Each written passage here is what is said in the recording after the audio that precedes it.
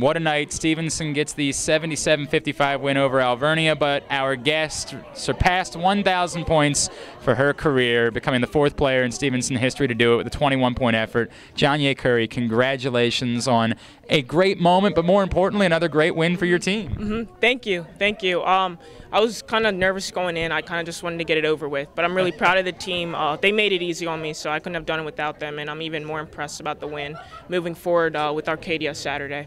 You know, I was talking with Coach about how it was fitting to me that as soon as you got past a thousand, you're like, okay, great, this is cool, but let's get back to work, yeah. and they end up having a great game and trying to go lift your team to a win. It seems like that's sort of just who you are. Like, not going to worry too much about all of this and the, the, pomp and circumstance. I got basketball to go play. Yeah, I definitely agree. Uh, they handed me the balloons, and I was like, I gave them right back. I was like, all right, like that's enough. But it was fun. Uh, I'm, I'm having a good time. The team supports me really well, so it was easy to kind of get out there and just play, just like any other game. What does it mean to you, though, that, that your teammates feel that way about you, and that everybody here feels that way about you? That there was this moment, and everybody wanted to come gravitate towards you and honor you in that. I know you're a humble type, but it's got to feel good to know that your teammates and this team wanted to do that for you.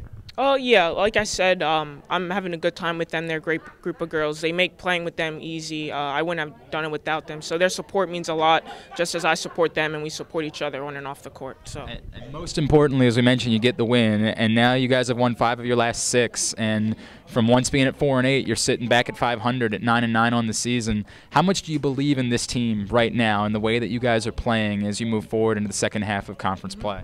Coach been telling us that we've been playing really well, practicing hard, and I think it's just great to get momentum. Um, we have Arcadia, and then we lead right into Messiah again. So we're just we're really looking forward to that. I know we're playing well. I believe in each other and, and myself, and I just know that we have a lot of potential. So I'm excited for the second half of the season. So a thousand down, now you go get another thousand before the end of the season, right? I don't know. I don't know about that.